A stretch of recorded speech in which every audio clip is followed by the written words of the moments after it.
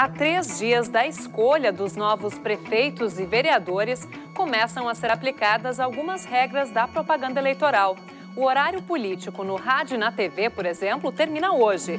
E para quem descumprir a lei, para quem descumprir a lei, as sanções vão de multa a detenção em caso de crime eleitoral.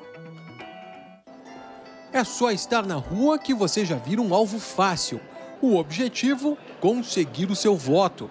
Espalhados por toda a cidade, cabos eleitorais deixam as últimas horas da campanha muito mais intensas. Mas será que adianta?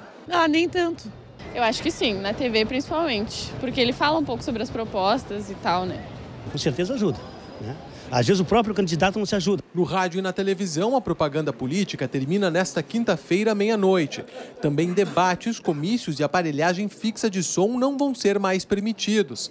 Já na imprensa escrita, a propaganda continua até a sexta-feira. No final deste dia, também não será mais permitida a reprodução de jornais impressos com propaganda eleitoral na internet. Essa é a única restrição para divulgação online. Mas as regras não acabam por aí. Às vésperas da votação, as restrições ficam ainda maiores. Panfletos, santinhos, passeatas e carros de som só serão permitidos até às 10 horas da noite do sábado, dia 1. Já no domingo, dia da eleição, só serão aceitas manifestações individuais e silenciosas, com adesivos, broches e bandeiras. Quem não respeitar a lei vai ter que acertar as contas com o Ministério Público, responsável por fiscalizar a propaganda eleitoral.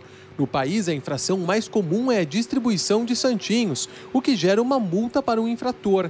Mas nos casos de crime eleitoral, a justiça é ainda mais severa. O crime eleitoral pode incidir também a detenção da pessoa que cometeu esse, esse, delito e, com isso, também a perda dos direitos políticos e, eventualmente, até inabilitação para a função pública.